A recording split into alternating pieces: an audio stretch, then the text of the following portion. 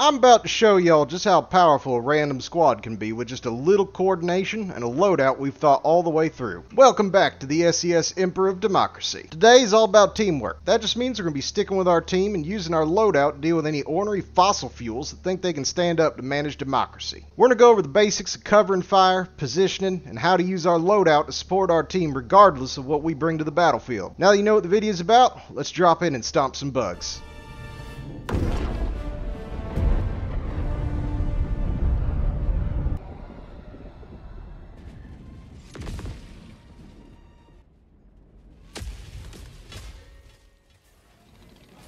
While we get situated, let's talk about what we brought with us today. We're working with a bit of a combination here of incendiary grenades, the orbital gas strike, and the Pummeler SMG to make sure those dumb animals stay in their pens. Pummeler's a fantastic weapon with or without a squad, but it really shines in team play. The reason I think is obvious. It can stagger darn near anything the bugs can bring, including chargers and stalkers. We're going to use this weapon to kind of corral the bugs into tight spaces where we can hit them with our toxic gas and set them on fire. This should clear out all the chaff enemies and enable our team to deal with the heavier threats. The rest of what you bring ain't super important, but if you want to try this for yourself, I'll tell you the rest of what we're working with. The AC-8 autocannon is going to pulverize those Hive Guard, Bile Spewers, if we get any, and Brood Commanders. It can clear bug nests, and it's also pretty good against Chargers, with just 4 to 5 shots to the posterior taking them out for good. We can use it to kill Bile Titans, but I wouldn't recommend it. Instead, we're going to finish any weak ones off with a quick volley up their bug hole. To deal with those stilted freaks, we took both the orbital rail cannon strike and the 500 kilogram bombs from Eagle 1. Rail cannon's not going to kill them in one hit, but it will put them low enough where we can easily finish them off with our auto cannon. Or we can just let our team handle them once they're weak. Now that you know the loadout, let's talk about how we're going to use it to help our squad. The general theme here is that we're going to be really good at killing anything that's smaller than a charger. We have the perfect setup for it with those ensign grenades and the orbital gas strikes. We got the auto cannon to deal with kind of biospheres of medium tier threats. And then we've got the pummeler to do what it does best, just stagger things in front of us and make hunters a just complete non-issue. For those of you that don't know, a single bullet from the pummeler will stagger a hunter out of their leap. This makes it real easy to deal with them. And as you can see here, makes stalkers a little bit of a joke if you can frickin' aim at their head. But at the same time, even if you're not killing them super fast, it doesn't really matter when they can't move, and especially because you can spray it between multiple stalkers, which you might see here in a bit. But uh, just the raw ability to crowd control the enemy in front of you while dealing with damage over time grenades and stratagems, it's just super powerful, y'all. This ability to clear out chaff enemies with just such ease is really going to help our team with focusing down those big threats.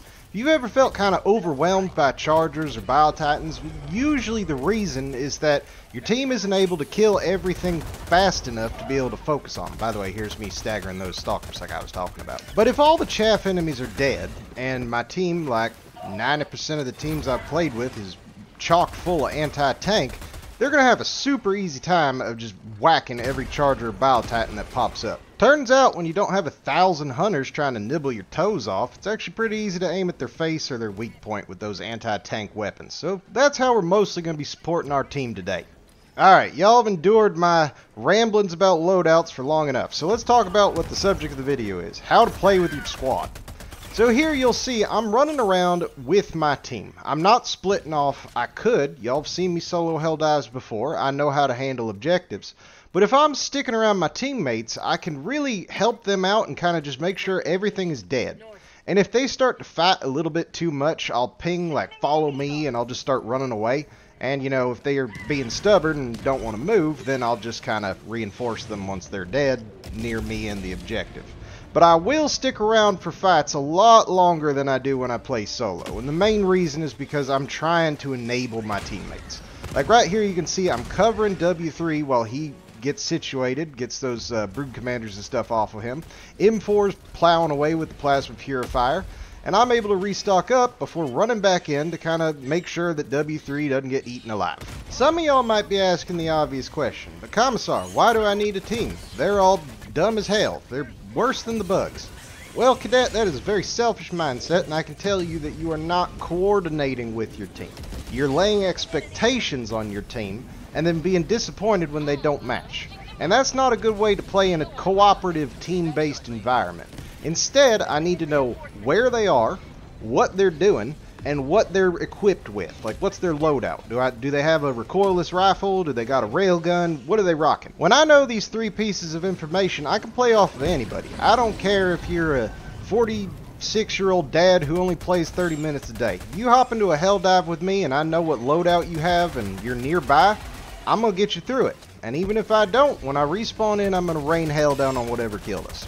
So when I when you know this, oh, by the way, don't mind W3 blasting me in the face. Is another thing I wanted to mention is that it's okay if you get killed by your teammates, y'all. This is not a game where death actually matters beyond the reinforcements. So I know it can be annoying if you get blown up by a cluster strike or W3 just blasts your face off with an arc blitzer. It doesn't really matter because we're all in it together. We all only win if we all get to the Pelican. So if they mess up and kill me, I'm going to try to laugh it off. If they're doing it maliciously, I'll kick them out of the game. But unless they're like actively trying to kill their squad mates, I'm, I'm not bothered by it, y'all. Like, you know, if you drop a minefield and I step on it, well, that's my bad. I should have known where it was, or I should have been paying attention. If you feel like in a lot of your games, your, your teammates are just more of a hindrance than a help, I really do think it's because you're not looking at it with this type of a mindset. It's not a what can you do for me kind of thing. It's more of a what can I do for you. Because if I know what my loadout does, and I follow around somebody that is equally equipped to deal with threats I cannot, then it's going to be a good match. Like, I run around a lot of the game here with M4. I don't know this person, just met him in this game. We never spoke a word. But we're able to coordinate really well. Like you'll see here, we cleared out that bug breach, and now we're getting swarmed by a bunch of chargers. So I start stunning it. Little bug bites me in the toes. So M4 finishes him off with his autocannon, and then we just start moving again together. Another charger comes up, same kind of deal. I get behind him, I start shooting him, and if he turned around to come for me, then M4 is going to take him out.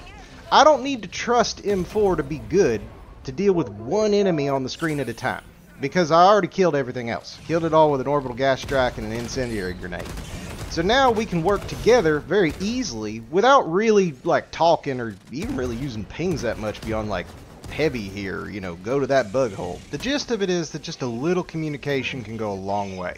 If you blow up your teammate with a stratagem on accident, just ping I'm sorry. It just lets them know that you didn't do it on purpose, you're not trying to ruin their fun. It's all just part of being a helldiver. We die all the fucking time. And you'll see in this game, I already got blasted once by a teammate and it is not the last of this match. If y'all been liking what you've seen so far, then consider liking the video. That one click helps me out a lot and lets me know if y'all are enjoying yourselves. If you want to see more content like this, consider subscribing and checking out my solo Helldive runs. I really appreciate all you cadets and you give me the motivation I need to explore new options and new ways to play. I do also try and reply to every single comment beneath my videos, so if you have questions or ideas for what you want to see next, let me know. But now that I've done my due diligence in making these videos, let's talk tactics. Y'all might have noticed that I've spent the last 30-40 seconds or so covering my friend here in the mech, because I know that that mech suit is terrible at dealing with things that are close. But I do manage to throw a fire grenade, not notice I was on fire because of the 500 kilo in the background, and burn to death. But I am going to get dropped back in fairly quickly, and I'll be able to scoop my stuff up and go back to supporting M4 over there. He just hopped out of his mech suit, and I noticed that there's not a lot of bugs left, so I'm not too concerned. I see there's no bug breach active. This should be a pretty easy cleanup. But because I was able to work with M4 while they were in their mech suit, it kind of made this whole primary objective encounter much easier because these primary objectives can be very difficult. These like ore refining ones or anyone that like lets the enemy know exactly where you are and they'll start spawning bug breaches and all that kind of stuff. It does get pretty tough if you're not cooperating with your team as well as you could. Just be aware of where they are and what they're doing. Here's another great example of just subtle teamwork. I threw that 500 kilo M4 knew it wasn't going to hit unless he baited it and vomited on him. So he just did a hero play there, made my hell bomb work. He enabled my stratagem to be effective. I would have missed if M4 did not do that. The Bile Titan would have moved a little bit, and the 500 kilo wouldn't have gone directly under them. So right here, he's dealing with whatever he was shooting at. I'm going to be covering him because I saw he was reloading and I've got my fire grenades, but as soon as my primary runs out, I back up because I know M4 just reloaded, and I'm going to start picking off this charger as well. As soon as it's dead, I'm going to back up, let M4 cover me so I can reload. I see all these hunters coming. I know he's got a plasma purifier and an autocannon. He's going to be terrible at killing these hunters. So I'm making my number one priority to just nuke that little squad out of the way. And then we start getting the parade of the giant fucking roaches. I think that's three Bile Titans, y'all. So I toss out the rail cannon strike. I'm pretty confident it will not kill one, but I know it'll get it low enough that I can finish it off pretty easily later. So I throw out the 500 kilo, I let it kind of bait in, and we kind of just deal with this little parade of nonsense without too much of an issue. My teammates, G3 over there, I called him C3 earlier, but G3 and M4 are both nearby. But as soon as I notice that M4 is not actively helping me with these Bile Titans, I know he's not looking at them, y'all. So I need to know, what is he doing? You remember what we talked about earlier. And I see that he's over here kind of pushing more of the objective. So I need to make it my responsibility to deal with Bile Titans as best as I can. Because M4 isn't looking, uh, and my other two teammates are just too far away to do anything. Well, W3 got stepped on there, so not much I could have done about that. But I was able to take out two of the three Bile Titans. I'm going to try to finish this one off with the autocannon. But I see my teammate's orbital laser come in. So I know I don't really need to deal with that anymore. The orbital laser will kill it. I did some damage to it. Orbital laser will finish it off. So now I just need to make sure that I'm okay and get back to regrouping with my team. And I see the next objective is very close by. But what you're about to see is called an unforced error. I did not need to die here. I see that laser beam in. I just didn't recognize it. It didn't register with me what that was. I didn't think to check if it was an Eagle cluster strike. Because if, if I did, I would have made a lot more distance between me and it because I was right in its path. So even though my teammate killed me there, that was was 100% my fault. I saw the stratagem and I could have moved out of the way, but I didn't. So I get bowling pinned off the side of the wall after respawning in. I throw out my fire grenades as I'm diving because remember y'all, you're immune to fire damage, to burning damage while you're diving. You can't be hurt by it. So if I need to throw a fire grenade real close in, I'm going to dive as I throw it. So I can throw it even at my feet and be pretty much fine. So I clear up that little chunk of enemies. I see my teammates up here with the uh, mech suit, the other variety, the Patriot. So I'm just trying to grab up my stuff and I'm going to watch their backs. I see that Bile Titan come in. I want to check my stratagems, but I know I need to get down to a little bit lower ground. There's nothing that's going up near my teammate. My 500 kilos coming back up. Objective needs to be pushed, so I move down get on the objective because my teammates are not in a good position to do it. And I'm just kind of waiting. I'm waiting to see what I need to do. This Bile Titan might get hit by something else. I don't know yet, so I'm kind of waiting to see if my teammates are able to take care of it because I do have both my 500 kilos and my orbital rail cannon strap. But I don't see any ordnance coming in, so I go ahead and toss out that orbital rail cannon. And it's able to finish it off. I think because it took some damage from the autocannon earlier. As far as I can tell, y'all, Bile Titans, they have they have a lot of health, but an orbital rail cannon very nearly kills them. So like a couple auto cannon shots or, you know, a quasar to the body, whatever, they should fall over pretty quick. Now we got another bug breach coming in as part of the primary objective. I know my teammates are for the most part behind me, so I need to make sure this isn't a problem for them. Because if this bug breach gets loose, they're going to be surrounded because I'm assuming that they're fighting stuff on the other end and not just standing there with their thumb up their ass. But I'm able to pretty easily handle this bug breach completely by myself because my loadout is well thought out and I planned for this kind of stuff. I know that my fire grenades are going to kill anything that's small, my autocannon's going to kill anything that's big, and my pummeler's going to make sure they respect my personal space. We've already finished all the primary objectives. We do go off and clear a few of the side ones, but I'm not really going to show you all that. I want to keep this video a little bit shorter. But this is another good example of me playing off of a teammate. This is G2. They've been kind of, I don't know, dicking around the whole match. I haven't really seen them do much. I think they've been off doing side objectives and stuff. But I know that with that Arc Blitzer, they're going to have that same kind of stagger power as me. So it's pretty safe for us to just deal with whatever's in front of us because our weapons synergize pretty well. Like they both do a lot of stagger, Arc Blitzer does a lot of AoE damage, so it just kind of makes it a very safe combination, even if it might not be the most immediately lethal version. So we're all running towards the extraction. I keep hearing groups of hunters, so I throw out my uh, fire grenades, kind of clear the way for my team and we're just kind of going to haul ass to the uh, to the extraction. So let's look at how that goes. And just so y'all understand why I'm coming out of a hell pod, I did die, and you see uh, M4 there saying thank you. It's because he shot a grenade pistol near me and then a charger ran me over while I was ragdolled. So that's how I died. I just want to be transparent with y'all. I'm not trying to hide my deaths or nothing. But uh, he was responsive to that because we've been working well together the entire game. I just said it's no problem, like don't worry about it. And then, you know, gives me the thank you. We're able to keep cooperating, keep killing these bugs. I just really want to drive this point home to y'all because I, I, really think coming from a game like Darktide, cooperation makes these games so much more fun, y'all, and so much easier. Like, you get the most cool cinematic moments you'll ever see in your life from this game if you just play off your team a little bit. It's those incidental times when you get a proper firing line lined up. Like, we got a mech behind us, we got three troopers all fighting in the same direction. It just looks great.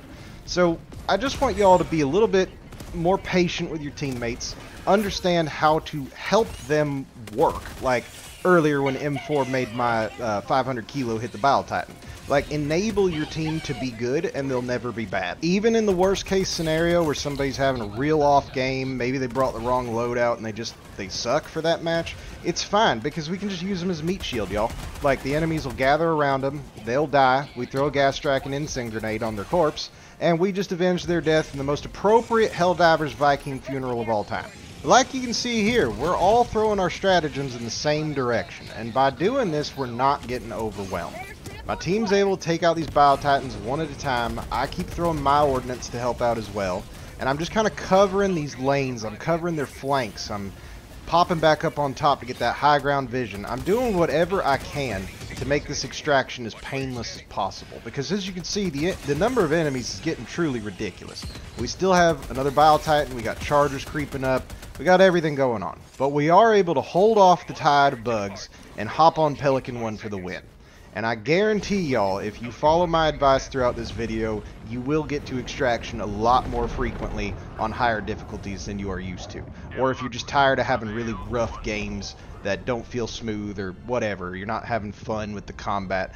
This mindset of enable your teammates, it helps a lot with that, and it also opens up so many different loadouts that I'm really excited to show y'all. Like, for instance, the Stalwart crap in solo play, but when you're up with a team and you're playing like this, it's actually really good and it's really fun to use, especially when your Helldiver starts shouting about, you know, for Super Earth. It's great. I hope you all have enjoyed this new style of video because I had a lot of fun making it. There's nothing quite like teaming up with a bunch of randoms and just wrecking shit on enemy planets. I love it. I hope y'all liked it as well. But until next time, Commissar Kai, signing out.